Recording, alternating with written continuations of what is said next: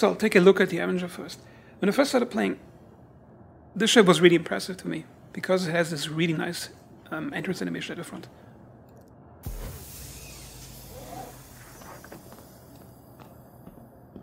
The character is holding on to parts of the cockpit geometry and uh, gets into the seat. And it appears they built a wooden mock-up in the mock-up studio, because that's how I usually do it, that resembles the shape of the in-game thing. So the motion capture actor um, can make an can produce an animation that can be easily used in-game. And I was really impressed. I also hoped the, that the whole game would be like that. So then there's the exit animation. Now pay attention to what's happening here. The chair is moving really fast, which is probably sped up from a previous animation. And the character is cleanly standing up in a very isolated way. Like he's waiting for the whole thing to turn, then cleanly stands up. And I noticed while I was playing with the Avenger a few times, something kept bothering me when I was um, playing with the ship. And I figured out it was the, the cockpit seating animation. Because I figured out uh, if I want to get in the ship quickly, I always use the front animation because it felt more natural. And that uh, rear seat animation, it just it felt like something's dragging down the, the gameplay if you do that animation all the time. And unfortunately, that animation is getting reused too much in the game, and they're reducing the quality of the animations and the ship designs to fit to that animation. So they're reducing the quality of the ships, which increases the profit margin for them so they can pump out more ships at a lower quality.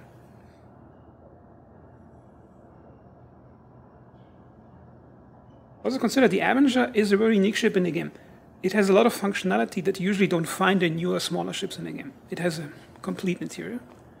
It has a bedroom. It has a ramp you can walk into. It has a rear entry animation and a complex mocapped front entry animation. Ironically, the Aurora is one of the few ships in the games, out of all the ships that are possible, that has a very natural uh, cockpit seating animation. Let's take a look. There's a character squeezing past and taking a seat. When I'm playing with an Aurora, I never feel the cockpit seating animation gets in the way of the gameplay because it feels like a natural gameplay element because they actually took the time to mocap it properly of a character squeezing past the seat to get into it. So could to get out of the mission?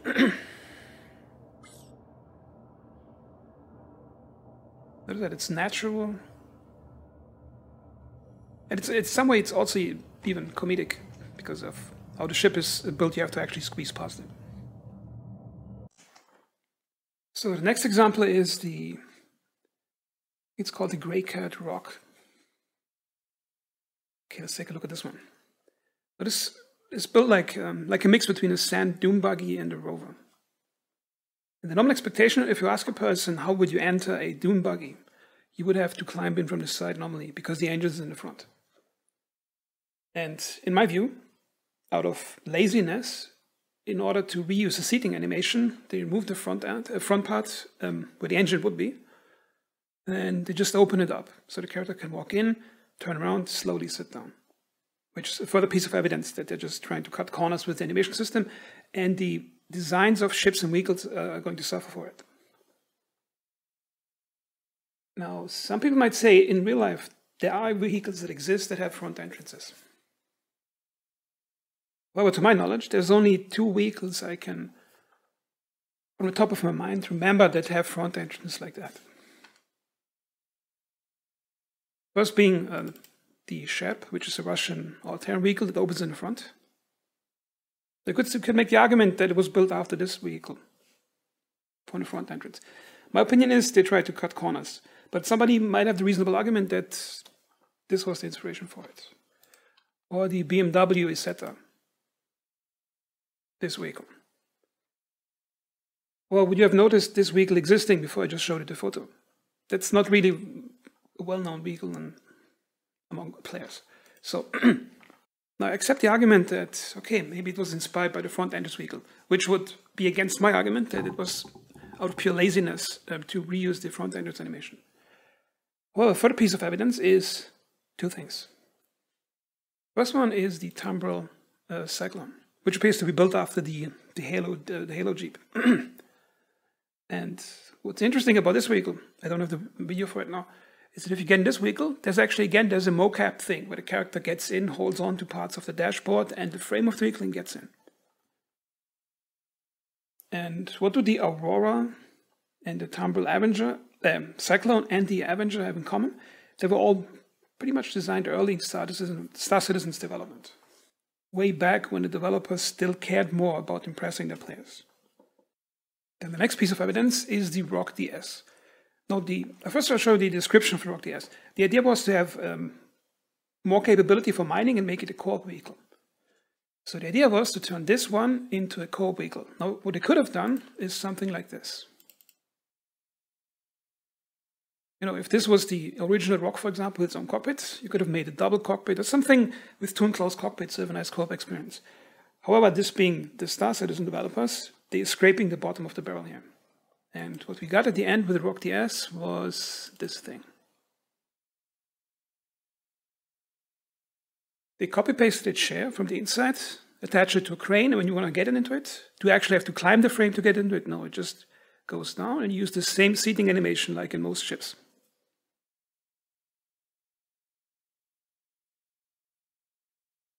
Okay, so perhaps I haven't convinced you enough yet, so I'll try next argument. Notice the worst example of, of that corner cutting is the Anvil Hawk. Now, if you look at the Anvil Hawk, at first it looks really nice. Look from the front, it has really nice, these uh, F-35 or Su-57 type intakes in the front. Really aggressive looks, like really cool looking ship. And you see like this uh, bounty hunter aesthetic with the guy with the trench coat. You think, okay, that looks like a nice ship, so what's wrong with that? Oh. I have to be a bit cynical with me to examine the issue here. Okay, so first off, at the rear end of the ship, you have the seat where you can capture your bounty. You put it in that seat, and you get sucked up into the thing, then you can transport him. Now, the first problem here is why didn't they make a bounty hunter ship that has an, a rear compartment where you can walk into? Like something like the Avenger is maybe a bit smaller. And the answer to that is probably because it's more work to have ships with interiors. It's easier for the developers to just have ships without complex interiors. But again, it's laziness, just because imagine how much improvisation you have to do in your design thoughts to have a bounty hunter mechanism where the, the bounty target sort of gets sucked into a weird rear compartment on the outside of the ship. And obviously, as you can guess, how does the character get into that thing? Obviously, he walks up to it, turns around in that slow seating animation, and he's going to enter it just like this guy. Okay? Now it gets even worse. Now you might think, okay, maybe they just improvised a bit, they just wanted to save some, some development time. Well, here comes the worst part. You can say, okay, at least the ship on the front looks really nice. You probably get some really cool animation like on the Avenger when you climb into the ship with a ladder and you hold onto the cockpit. It's going to be really amazing. Well, is it? I think it won't. So here's how the cockpit entry animation looks like.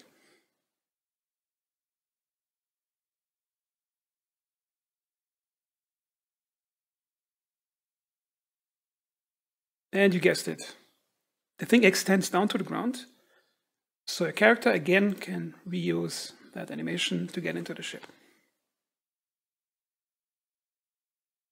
They got so lazy with the development of the ship that they have two different entry points in the ship, and both of them are built so they can reuse the same animations. The ship literally lowers its cockpit seat down to the ground just so the animation can be reused.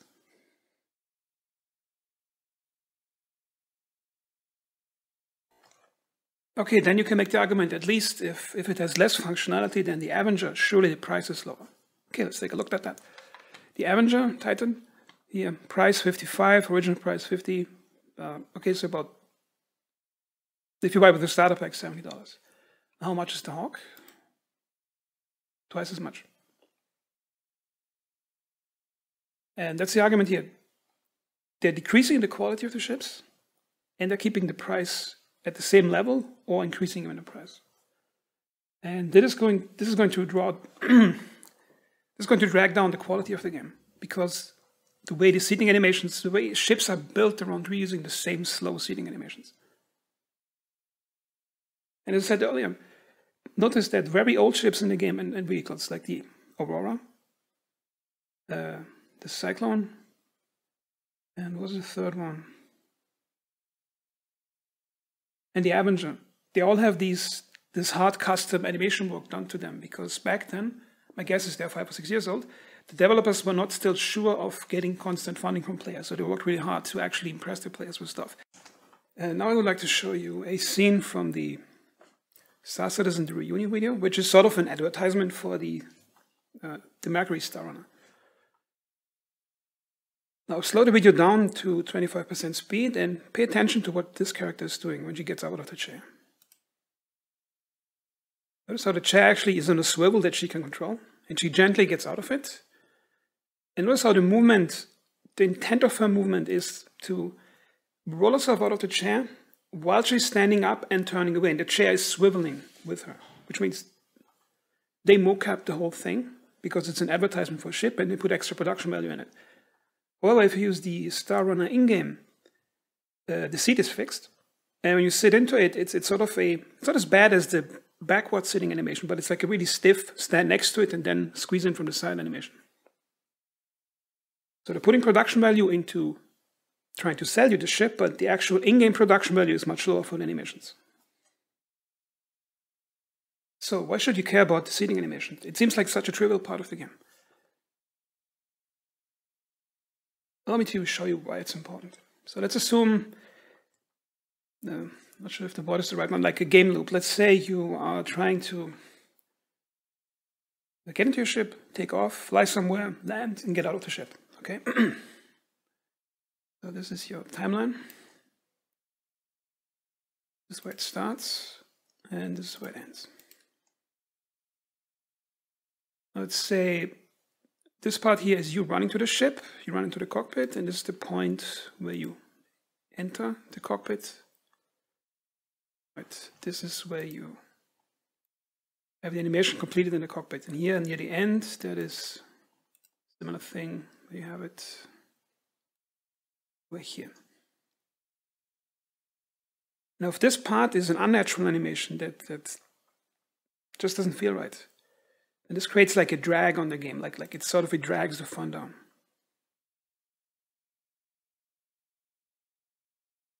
You have this part that's red in the game, that's like a defective part of the game. Now what happens, some players notice the problem right away because they pay attention to stuff like that. In this case, they pay attention to animation systems. And some players don't pay attention to it, they won't notice the problem right away. However, as they play the game, as they go through that loop, get in the ship, get in the cockpit, get out of the cockpit, and every time they have to do that thing, like something's dragging down the fun, but they're not noticing it right away, like just something doesn't feel right. Then eventually they figure out, okay, wait a minute, that animation is annoying. And then usually the feedback comes in and says, the animations are too long, too clunky, too sluggish, too slow, or something. And then the easy fix for the developer is, okay, let's shorten the animation instead of redoing it. Then this part gets shorter, but it's still defective. And at some point, instead of repairing the defective part in the game loop, we just remove them or shorten them to, well, not being there at all. You notice that when you get out of the seat backwards on the Avenger, the turnaround animation is sped up from what it used to be.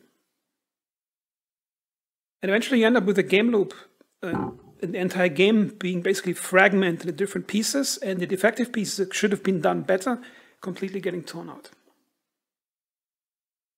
And this is why good organic seating animations that are custom animated for every single seat and every single ship are important. And to finish off the video, I'd like to show you some animations from Red Dead Redemption 2, in this case online mode. Let's take a look at picking up that frog animation.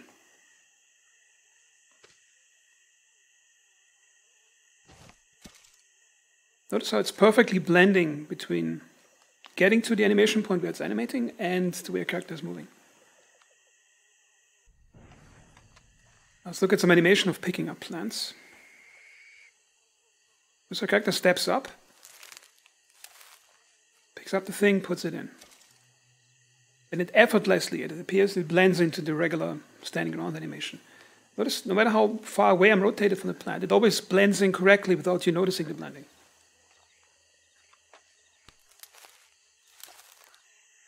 Now these pickup animations are already really good in Red Dead Redemption Online. However, they also have pickup animation from trees. Check this out. Again, steps up without any blending visible, picks it up, puts it in a pouch.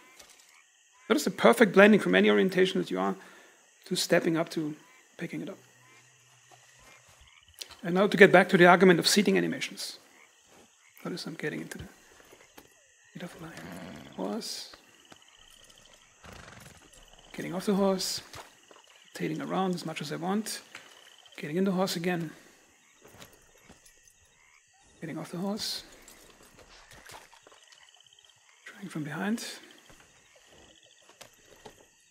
Notice it accounts for different animation directions towards the horse and it perfectly blends towards it. Notice I can do this all the day. It, it doesn't get in the way of the gameplay because it's an organic part of it and it's perfectly animated and it's fluidly blended. Notice that. Like you never get annoyed in this game by getting off and on the horse all the time. Unlike Star Citizen, where getting into a cockpit seat is a major source of annoyance for players. And that's the point I'm trying to make with this video is that Great animation quality is basically the substance of a 3D game and it carries the quality of the game. And if you skip on good animations, it, it's dragging down the quality. And no matter how good the top level goals of the game are, the game will not be funny if the animations suck. And that's the other thing about Red Dead Redemption, and especially online mode. The top level game goals for grinding are like getting bounty hunter levels, getting collectors levels. It's actually not that interesting. Because it's always the same thing. You shoot stuff, you, you carry the corpses to the sheriff, the real fun comes not from the reward from the mission, it actually comes from the physical activities. Like you pick up a corpse, you put it on your horse, you ride away with your horse. And the final point of video is that like, uh, sometimes people think, why make all these videos being critical of Star Citizen? If I supposedly don't like the game. And here's the thing, I actually like the game. But the problem is, it's an early access game. And to me, it appears the developers, they have